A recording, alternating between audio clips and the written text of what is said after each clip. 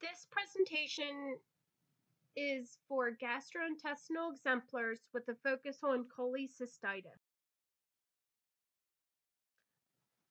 Cholecystitis is basically just an inflammation of the gallbladder, typically caused by cholelithiasis, which is blockage of the duct by a gallstone.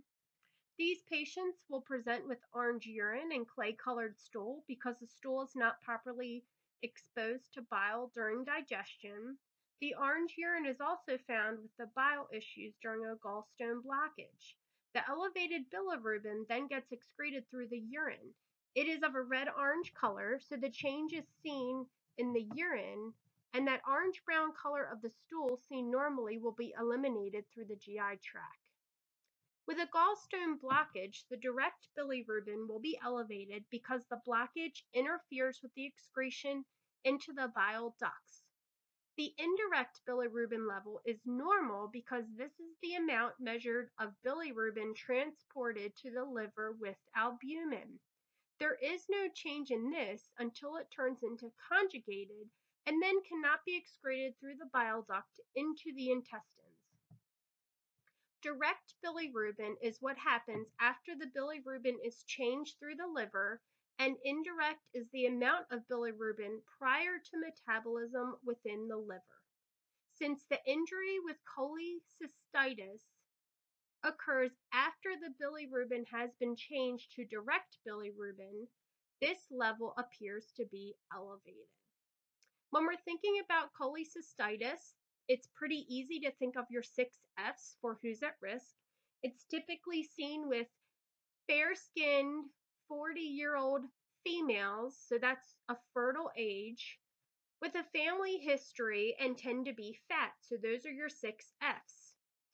Patients can fall outside of these, but this is a generic, typical, biased view of who you're going to see patient wise. Typically, you can be caused by a duct blockage, by a stone. So again, it's just telling us our direct bilirubin at this point is going to be elevated. Indirect is before it actually gets um, conjugated, uh, will be at a normal level. Biliary colic can also be a cause of cholecystitis. And initial complications can include empyemas, gangrene and or perforation, which ultimately can lead to peritonitis because we know inflammation in our peritoneal cavity can be caused by any sort of perforation within our abdominal cavity. Fistula formation of a fistula within an adjacent organ or gallstone ileus. This is a really quick picture of what you're going to see, how your patients are going to present. They can be jaundice, complaints of nausea and vomiting, anorexic, although they tend to be more larger than anorexic, but they may be having feelings of fullness with abdominal distension, so they're unable to eat, fever with leukocytosis, and then typically their pain is right upper quad pain or right shoulder pain radiating to the back, and it typically will increase with deep breaths. You usually will have patients complaining of abrupt onset of pain that's severe and steady in right upper quadrant, radiating to the back shoulder or right scapula. It may only last 12 to 18 hours, but typically it's enough that they will come to the hospital. They will say that it actually gets worse with movement and or breathing, those deep breaths.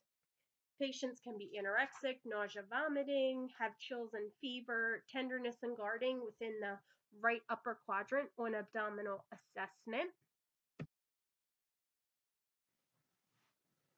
As you know, there are multiple treatments that we can do to alleviate these issues in our patients.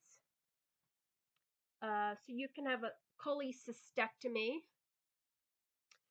That can be done laparoscopically.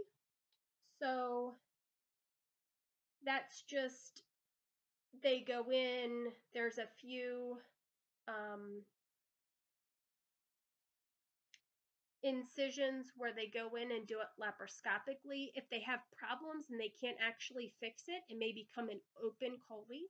So you're going to see the different treatments for what happens to a laparoscopic chole versus a open chole.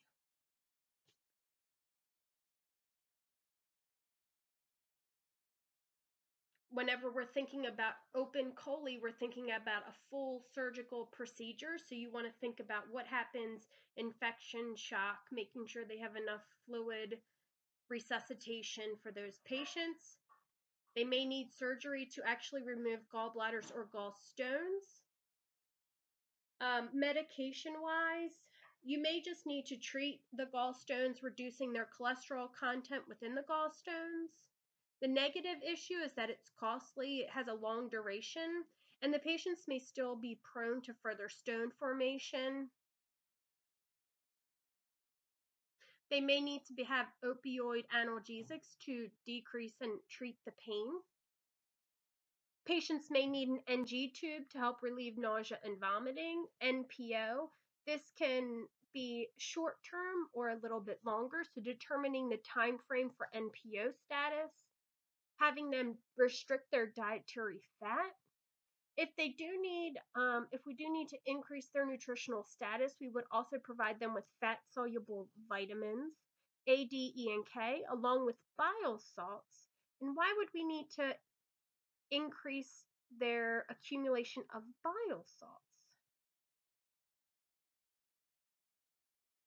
Because they actually, if one would get jaundice, um, from the bile salts, and we actually would administer medications such as cholecalciferol or Questran to bind the bile salts, those bile salts actually may start to become decreased significantly. Shockwave lithotripsy may be used to eliminate the stones. And also, patients may need to have an ERCP done to see if the stones can uh, are either gallstone or pancreatic. Now remember, ERCPs, one of the big risk uh, side effects for an ERCP is pancreatitis. So you would be cautious to have that procedure done on your patients. With cholecystitis, patients can be treated outpatient so if they need a lap chole done, typically they go to PACU and they can be discharged right from the PACU home on some oral pain medications. If the surgery um, goes to an open chole, they would maintain inpatient status within a hospital in order to better manage them post operatively.